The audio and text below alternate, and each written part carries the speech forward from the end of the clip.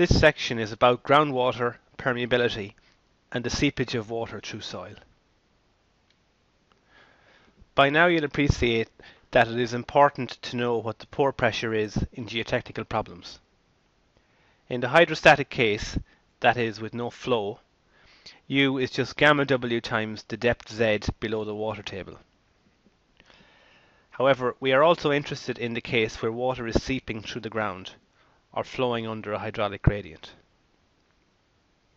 Bernoulli's equation that you will have encountered in fluid mechanics also applies to soils.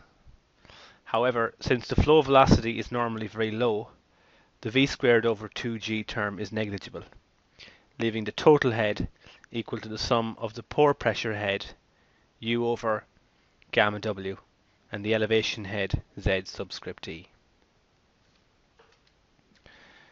Two groundwater flow regimes that can arise are artesian conditions and under drain conditions.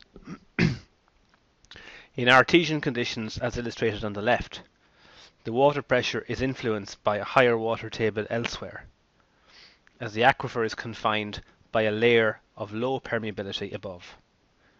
This leads to pressures which are in excess of hydrostatic, i.e. U is greater than gamma W times Z. A schematic of underdrain conditions is shown on the right. Water was pumped for centuries from the clay at great depths below London to provide water for the city. As a result, the pore water pressure as measured by the standpipe piezometer in the clay layer will register a water pressure U which is less than gamma W times Z.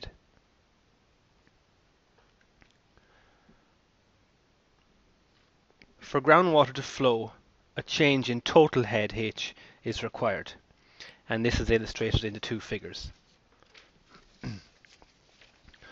On the left, the two points A and B have different elevation heads and different pore pressure heads, but the total heads are the same, so there is no flow of water between A and B.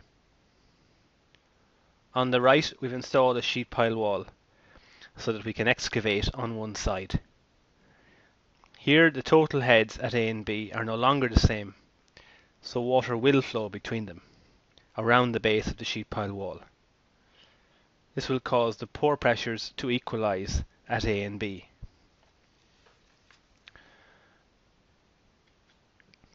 Darcy's law can be applied to flow in soils, and it states that the flow rate Q is given by the cross-sectional area of the flow, A, times the permeability of the soil, K, times the hydraulic gradient, I. The diagram explains that the hydraulic gradient is the head loss in this case minus dh, divided by the length over which it is lost, dx. Q over A can also be written as the discharge velocity, v subscript d.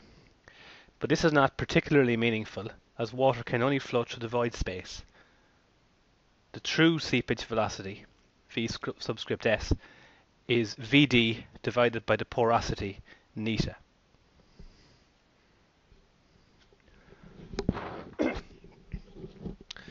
Here are typical permeability values for different soil types.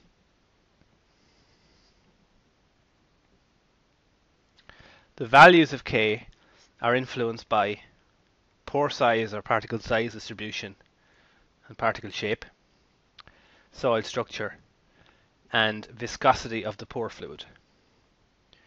It is important to make the link between density, void ratio, and permeability. As density increases, void ratio reduces and permeability reduces. For the purposes of this course, we assume that the permeability is the same in all directions. But in reality, sedimentary soils that were deposited in layers have greater permeabilities in the horizontal direction than in the vertical direction.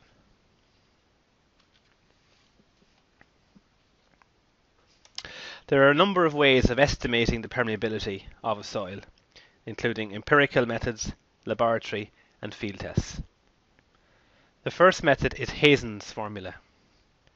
The permeability can be calculated directly from the D10 value derived from the grading curve. But note that this applies to clean sands only. the second method is the constant head permeability test, which is relevant to coarse soils. The test arrangement is shown on the right. The head in, in the tank above the soil sample is kept constant. Measurements of flow rate Q and head difference H between the two standpipe manometers allowed the permeability to be estimated directly from Darcy's law as shown in yellow.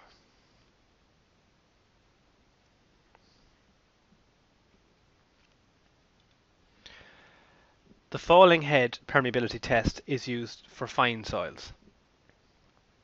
This time, the change in head in the upper tube from H0 to H1 corresponding to a certain time period is noted. Again Darcy's law is used, but some integration is required in this case to arrive at the solution.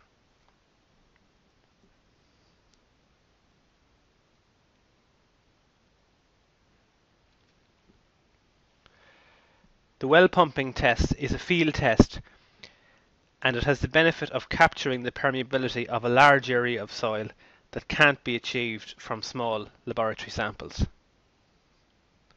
The principle is that three wells are bored. Water is pumped from one and the steady state flow rate Q is measured. The other two are observation wells at distances R1 and R2 from the pumping well. These allow the drop or drawdown in groundwater level due to the pumping to be monitored.